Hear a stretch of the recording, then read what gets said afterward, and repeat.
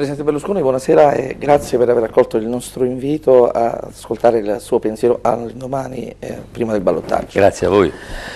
Ecco, i napoletani si chiedono eh, se eh, questa legge speciale di cui tanto parla Lettieri eh, sia veramente una sua precisa volontà eh, verso eh, Napoli, i napoletani. Guardi, noi abbiamo già fatto delle leggi speciali per delle situazioni che richiedevano un intervento dello Stato perché i comuni non potevano da soli, con le loro forze, arrivare a realizzare certi progetti che invece si imponevano nelle varie realtà locali. A Napoli ci sono diverse situazioni che richiedono un intervento da parte del governo centrale. Eh, tra queste situazioni ce n'è una che mi ha toccato particolarmente. Lei sa che c'è un provvedimento di abbattimento di circa 60.000 case tra Napoli e i comuni vicini, Molte di queste case sono case realizzate in economia da delle famiglie che hanno in questa casa la loro unica possibilità di avere un tetto e che se fossero buttati fuori da una casa eh, per vederne l'abbattimento non saprebbero proprio dove andare. Allora noi abbiamo intenzione nei Consigli dei Ministri prossimi di eh, decretare una sosta dell'abbattimento almeno fino alla fine dell'anno, in modo che ci possa essere un esame approfondito situazione per situazione per vedere ciò che è stato frutto di una speculazione e ciò che invece è stato realizzato dalle singole famiglie eh, e che era l'unico modo per darsi una casa. E in molti casi noi abbiamo, ascoltando le famiglie, eh, visto che non eh, c'era stata una licenza edilizia per i tempi incredibili che il Comune di Napoli impiegava per dare una licenza. E molti di questi ci hanno detto che non avevano avuto la licenza perché non erano riusciti ad andare negli uffici del Comune e eh, una loro parola con una busta in bocca. Quindi noi sospenderemo l'abbattimento di queste case, ci sarà il modo per approfondire eh, ogni singola situazione e bisognerà per quelle famiglie che abitano in immobili che si devono abbattere perché eh, sono inconcepibili con eh, il, il, paesaggio e con il decoro urbano, di costruire delle case. Io ho, ho realizzato delle case per 30.000 persone in 5 mesi in Abruzzo, è un sistema che mi deriva dalla mia precedente attività di costruttore, in cinque mesi si possono fare queste case come le abbiamo fatte in Abruzzo. Ecco, noi riteniamo che questo si debba fare anche a Napoli e riteniamo che quindi sia giusto approfittare di questo tempo prima di passare ad un abbattimento, eh, diciamo così, generalizzato eh, di queste situazioni. Ecco, Italia Mia, la nostra emittente, ha fatto dei sondaggi anche in città tra la gente e una delle preoccupazioni, delle paure che nasce eh, da alcuni nostri concittadini sta nel rapporto con la Lega. Eh, le notizie che D'Alessio non è riuscito neanche a cantare a Milano, che ha avuto degli improperi su internet, eh, fanno sì che questo clima tra nord e sud si, sia un po' inasprito per questa campagna elettorale. Non c'è ragione, guardi, di ecco, preoccupazione. Ecco, la Lega sente in maniera particolare il momento elettorale e quindi nel momento elettorale cercano di eh, usare anche argomenti, diciamo così, eh, non moderati per acquisire il consenso da parte di quelli che loro pensano siano i loro lettori aperti a certi argomenti. Io però in tanti anni ormai di alleanza di governo con la Lega non ho mai trovato in loro un argomento esasperato che si sia dovuto tradurre in realtà.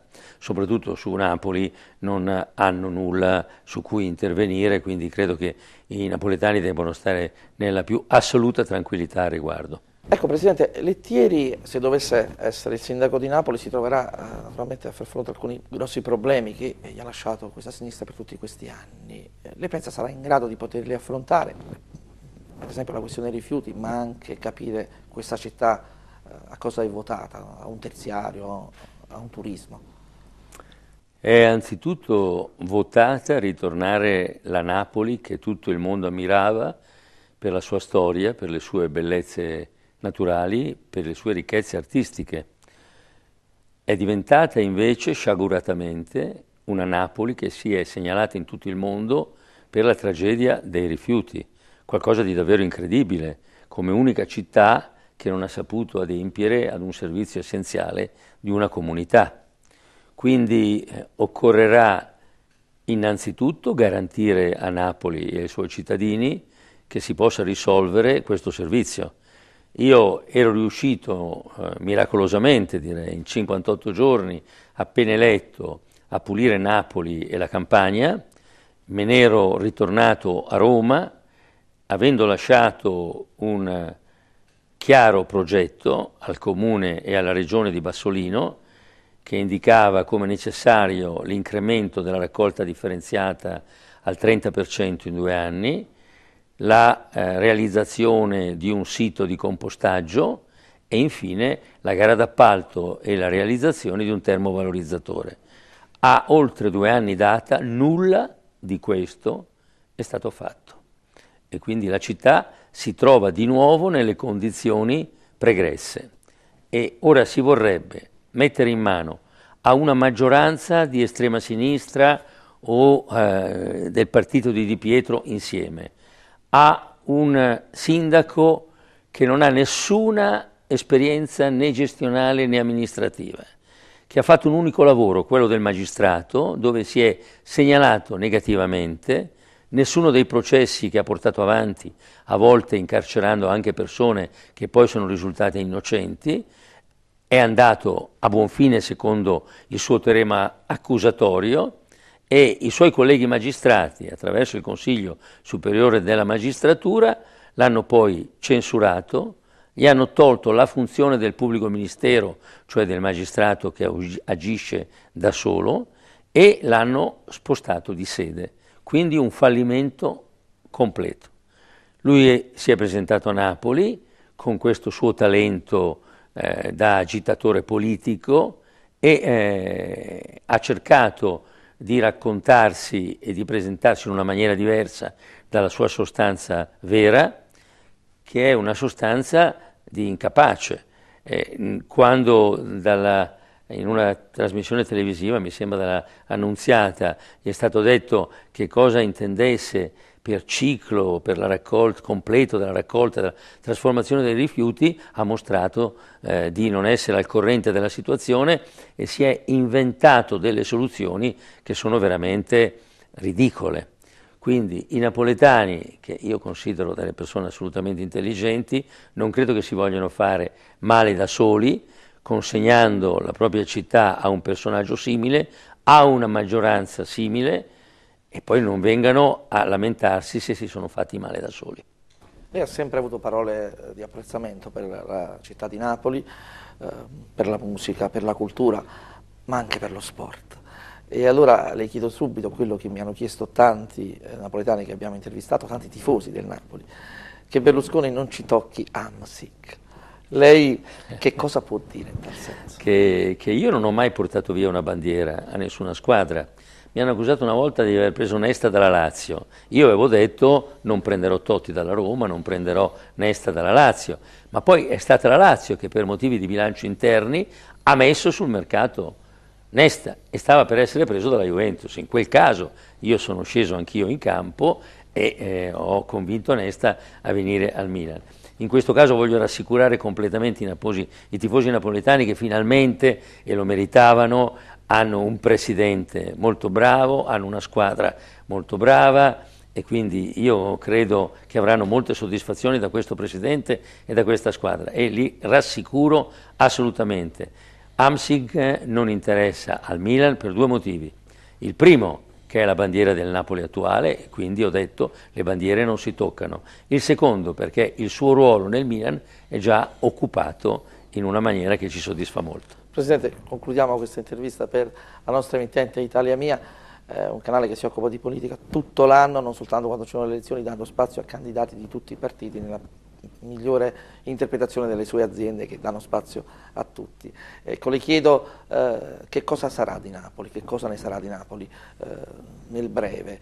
C'è la possibilità di riscattarsi, abbiamo problemi anche a livello di lavoro con la Fincantieri, con aziende che eh, trovano difficoltà anche a reperire il denaro dalle banche, quindi difficile accesso al credito. Ecco, lei sotto questo aspetto che cosa può dire a tanti industriali, a tanti imprenditori, a tanti artigiani, ai commercianti, alla gente comune? Che bisogna risolvere i problemi che hanno ultimamente afflitto Napoli, bisogna riportare Napoli al decoro che merita, bisogna eh, far sì che possa ritornare ad essere una meta ambita dal turismo e dai turisti di tutto il mondo, bisogna perseverare nella creazione di nuove intraprese, bisogna cercare di dare ai ragazzi di Napoli la possibilità di non dover andare al nord o all'estero, ma di trovare qui eh,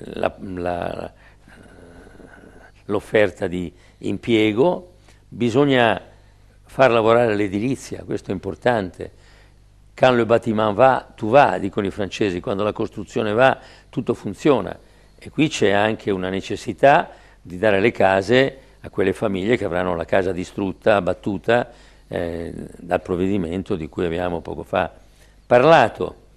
E io credo che un amministratore che venga dalla trincea del lavoro, come Lettieri, un uomo che ha lavorato tutta la vita, dando buona prova delle sue capacità, un ottimo gestore, un ottimo amministratore, possa essere l'interprete migliore di queste esigenze della città, possa collaborare bene con tutti i suoi colleghi imprenditori, possa collaborare bene col Presidente della Regione, possa collaborare bene col Presidente del Consiglio e eh, dia una soluzione positiva a tutti i problemi che affliggono Napoli.